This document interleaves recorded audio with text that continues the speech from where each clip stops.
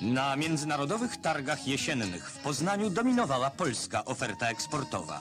Konfekcje Made in Poland nosi się w wielu krajach.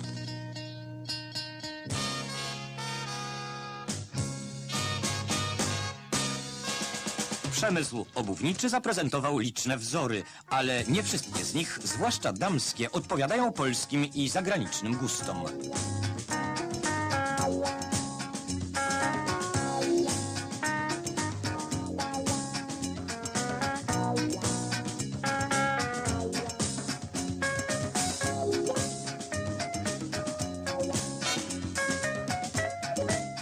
Nowość. Myjnia i suszarnia do naczyń.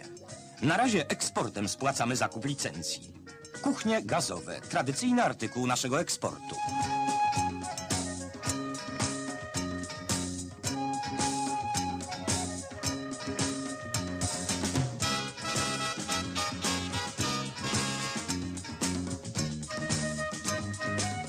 Sporo nowości pokazał przemysł elektroniczny. Rozpoczęliśmy jako pierwsi wśród krajów RWPG produkcję kalkulatorów. Może ułatwią kalkulację również naszych obrotów z zagranicą. Miliard złotych dewizowych wyniosła na targach wartość polskich transakcji eksportowych. Za pół miliarda zakupiliśmy towarów zagranicznych.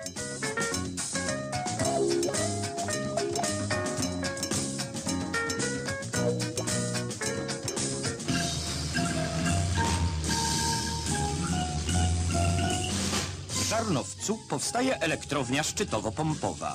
Nazwa tajemnicza, zasada prosta. W ciągu dnia turbiny pompują wodę z jeziora do zbiornika górnego, a w godzinach wieczornego szczytu woda spływa z powrotem do jeziora, napędzając turbiny. Trwa właśnie budowa zbiornika górnego.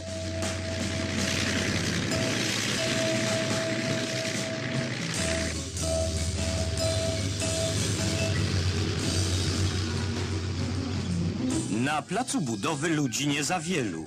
Braki kadrowe trzeba naprawiać sprawną organizacją pracy.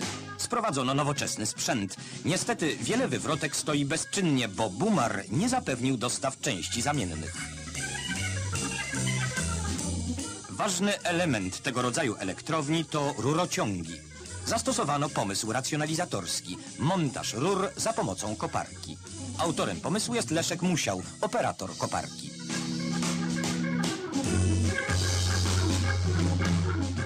Wytyczanie terenu przyszłej siłowni. 680 MW elektrownia żarnowiecka zasili przemysł i miasta Wybrzeża Gdańskiego. Drugi festiwal polskich filmów fabularnych. 24 utwory ubiegały się o nagrody. Jury i publiczność Trójmiasta obejrzeli aż 7 filmów premierowych. Gdańsk gościł czołowych reżyserów i operatorów. Ewa i Czesław Petelscy. Jerzy Hoffman. Mieczysław Jachoda. Kazimierz Kuc. Janusz Nasweter i Ludwik Perski. Tadeusz Chmielewski i Stanisław Woll. Na festiwal przybyło wielu znanych aktorów. Obecność ludzi kina stała się okazją do spotkań i dyskusji ze społeczeństwem Wybrzeża. Młodzież Gdyńskiej Stoczni imienia Komuny Paryskiej podejmuje twórców filmu Ziemia Obiecana. Załoga stoczni uznała ten film za najlepszy.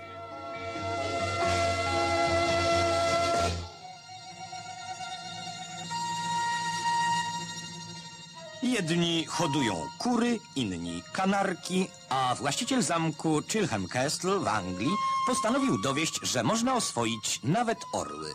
W zamczysku żyje kilkadziesiąt okazów tego dumnego ptactwa, które poddaje się systematycznie tresurze. I oto wyniki. Niektóre orły znacznie obniżyły swoje loty, nie oddalając się poza obręb zamkowego podwórka.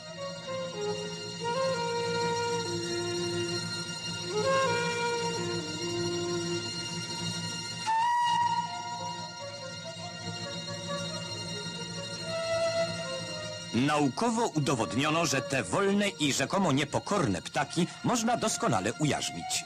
Każdy orzeł, gdyby nawet latał bardzo wysoko, zawsze wraca do swego pana po to, ażeby jeść mu z ręki.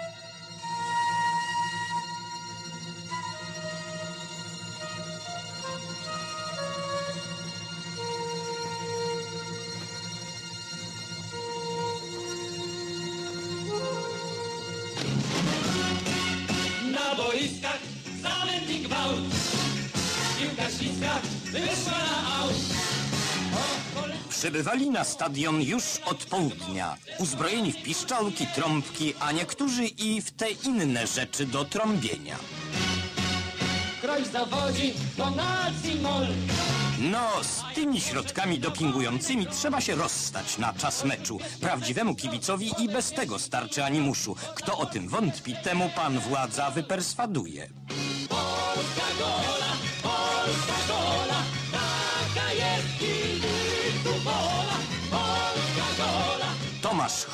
Włodzimierz Korcz i grupa Andrusy z Katowic uczą, że siebie samych i naszą drużynę można rozgrzać również piosenką.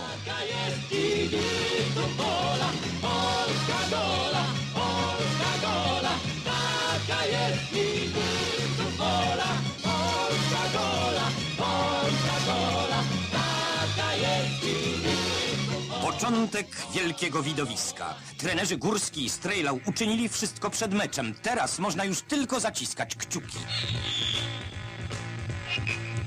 Holenderski trener Knobel pewny zwycięstwa.